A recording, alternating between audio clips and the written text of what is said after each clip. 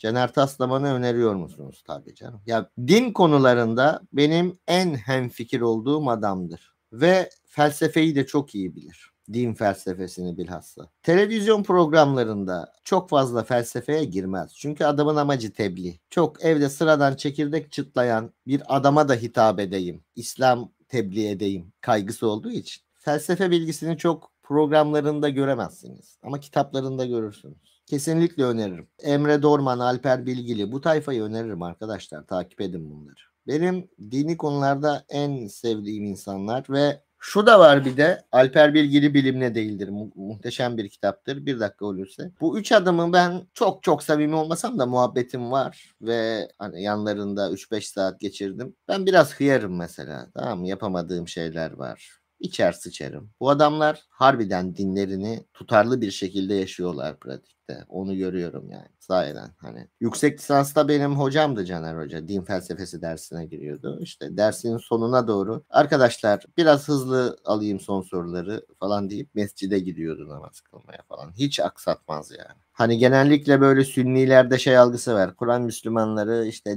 sekülerler, dini hayat yaşamıyorlar falan. Hayır hiç de. Benim yakın çok dindar hayat yaşayan Kur'an Müslüman arkadaşlarım da var. Fakat bu üç adam, adını saydığım üç adam, daha göz önünde bulunan adam sahiden samimidirler. Tutarlı yaşarlar. Ya ben de samimiyim de işte pratik irrasyonellik yapıyoruz. İçip sıçmamam lazım. Namaz vakitlerini kaçırmamam lazım. Yapıyorum böyle hatlar işte. Allah tutarlılık, istikrar nasip etsin inşallah. Dua edin bu konuda. Bu benim çabama bağlı tabii ama bir yandan dua etmek de lazım.